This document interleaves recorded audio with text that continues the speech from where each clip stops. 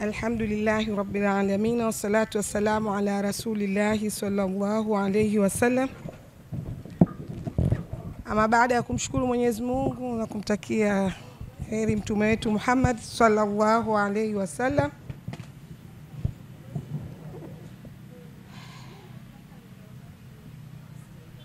mimi nimeishiwa maneno kikweli. Mwaka huu ushiriki naona umekuwa sana. Nilitamani kwamba kutokana na wafadhili walifanya vizuri mwaka jana, nilijua leo nitakuta watoto wengi sana ambao watashiriki, lakini naona washiriki wadogo, lakini hata hadhara yenyewe imepwaya, wazazi hawajajitokeza. Kwa hiyo na masikitiko makubwa, nikiwa na mimi kama mzazi naona wazazi pia dini yetu bado hawajaichukulia kwa umakini. Ni masikitiko makubwa sana, kwa sababu tunawaona wazazi wanashiriki kwenye mambo mengine, lakini leo kwenye jambo hili tukufu wazazi wameshindwa kufika hata hapa kuja kuwasikiliza vijana wao. Ni mtihani mkubwa. Inna lillahi wa inna ilaihi rajiun. Niwapongeze wanaoandaa mashindano haya, Mwenyezi Mungu awabariki, lakini wajaribu kutizama tena ili kuweza kuboresha mashindano haya, wale wadau wetu, nikimaanisha kwamba kuna walimu kwenye mashule, lakini kuna umoja wa walimu, muweze kukutana nao na kuweza kuyatengeneza ya mashindano yetu. Nadhani watawasaidia sana kwa sababu wao ndipo wako huko. Kwa hiyo waweze kuwashirikisha kuanzia mwanzo, ili basi tupate ushiriki uliokuwa mzuri. Kiukweli kuna vitu vingi ambavyo vinachangia, kwa sababu huko mashuleni watoto wanabanwa sana muda, wakati mwingine wanakosa muda wa kufanya mraja au kwa ajili ya Qur'ani. Hivyo navyo pia ni changamoto iliyokuwepo kwetu. Basi huko mashuleni walimu waf... kuna vipindi vya dini lakini havisimami vizuri kwenye kusomesha Qur'ani. Wakati mwingine tunapita tunakuta kipindi cha dini kinakuwa hakina mkazo kama kipindi cha biology na na hesabu. Kwa hiyo bado sisi Waislamu kuna mambo ya kuweza kuyaweka sawa na kuyasemea tena hasa huko wizarani, ili basi kipindi hichi cha dini kiwe na msimamo mzuri. Lazima walimu wa dini waweze kusajiliwa kama walimu wa hesabu na waweze kulipwa na kuthaminiwa, ili basi kipindi hichi cha dini kiwe na mkazo mkubwa na kiwe na mantiki. Ikiwa kwamba serikali inachukua jukumu la kutunga mitihani tena mikubwa kabisa ya mwisho na watoto wakafanya, basi hawa walimu wanaosomesha masomo haya pia na wao wawe na hadhi kama walimu wa masomo mengine. Nadhani hii itaku, itafanya kidogo watoto wetu wakaliweka somo la dini likawa na mantiki, kwa sababu tunaona hata kwenye matokeo somo la dini bado linaongoza katika kuanguka, kwa sababu yule anayolisimamia hajaboreshwa. Kwa hiyo hata yule mpokeaji analipokea kwa mapungufu. Kwa hiyo ndio maana unakuta mtoto anafaulu hesabu, lakini somo la dini ana F. Tunajiuliza kwa nini? Madrasa zipo nyingi, lakini bado hakuja kuwa na mwamko mzuri kuanzia huko wizarani, lakini hata huku majumbani wazazi bado ni changamoto. Swala la dini wanalichukulia ni kitu cha kawaida. Nitamani wangekuwepo wazazi, ili jambo tukaambizana vizuri, kwa sababu tunaona mpaka kwenye madrasa huko mzazi atalipa tuition elfu hamsini lakini elfu tatu tu ya madrasa ni mtihani, kwa sababu hatuoni thamani ya Qur'ani wala hatujui kwa nini Qur'ani hii kesho itatusaidia wapi. Kwa hiyo haya yote ndio yanapelekea malezi tunayaona sasa, watoto wanaharibikiwa. Kwa sababu bado ile imani ya dini hatunayo, kwa sababu ili mtoto awe na tabia njema lazima awe katika misingi ya imani ya dini. Lakini watoto wetu wameenda shule sana kuliko madrasa, na walimu kama hivyo ni changamoto kwenye kipindi, lakini na wazazi wamejisahau kabisa kwenda kusimamia masuala mazima ya dini. Huu ni mtihani. Mwenyezi Mungu atuongoze shau. Mimi niwapongeze sana, mnajitahidi na tunaona harakati zenu, lakini nadhani ushauri wangu kuwaona hawa wana umoja wao walimu wale waweze kusaidia ushiriki uweze kupatikana mzuri. Nikirudi kwa watoto wangu,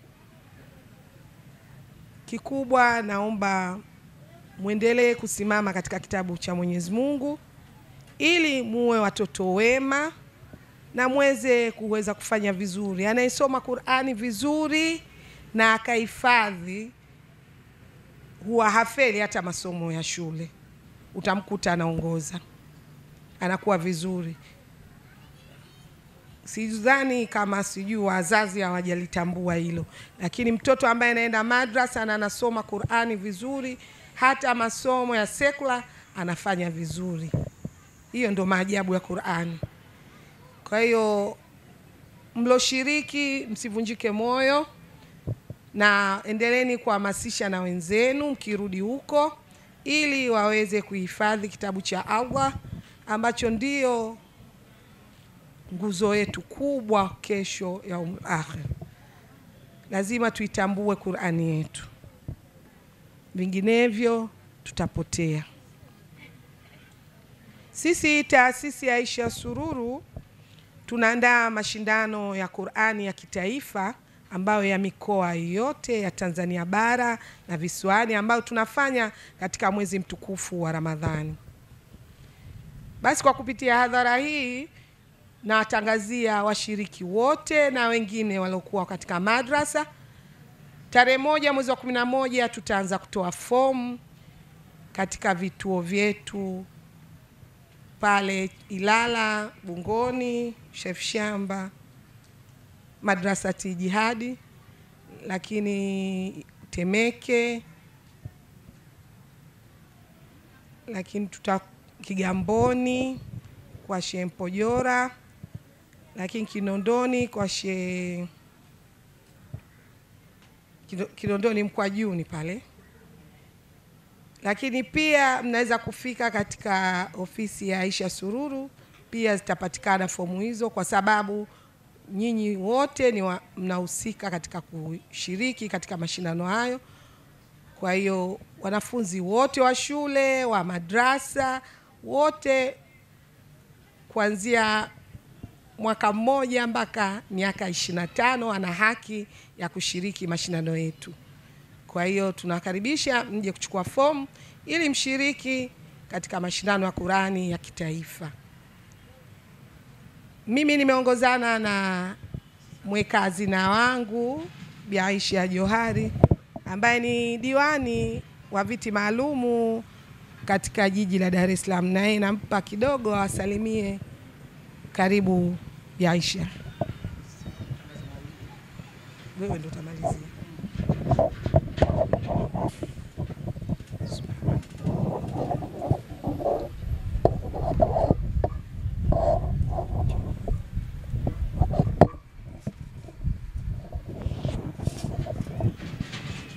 Assalamu alaikum warahmatullahi wabarakatuh. Alhamdulillahi rabbil alamin, alhamdulillahi kwa kila hali. Kubwa ni kumshukuru Mwenyezi Mungu, nimepewa nafasi ya kusalimia, lakini katibu wangu hapa wa Aisha Sururu ameeleza maneno mengi na yenye manufaa. Kama tutakuwa na mazingatio, basi tutayazingatia kwetu sisi watoto pamoja na uongozi wa wanafunzi. Niseme kwamba malezi sasa yanapotea. malezi yanapotea na hatima yake ndio tunafikia hapa tulipo leo. Tunakuwa wawili wa nusu katika hadhara kama hii yenye maana, yenye mantiki, yenye heshima kubwa mbele ya Mwenyezi Mungu, kwa sababu watoto tunawalea tunavyowataka sisi, hatuwalei kimaadili ya Kiislamu. Ndio yanakutufikisha hapa. Ukti Mwanaidi hapa amesema kwamba leo tumehuzunika, tulijua tungekuta hadhira kubwa yenye watu wengi, yenye wanafunzi wengi, lakini kutokana na malezi tunaowalea vijana wetu imetufikisha hapa leo tulipo.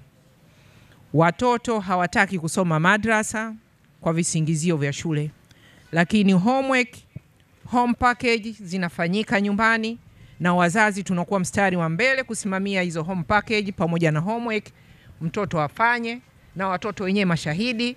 Mnaelewa hili kwamba usipofanya homework utakwenda kuadhibiwa, lakini kuna adhabu kubwa mbele ya Mwenyezi Mungu kama hukufanya au hukusoma kitabu chake. Kesho utakuwa kama kipofu asiyeona na kama mtu ambaye hana mbele hana nyuma.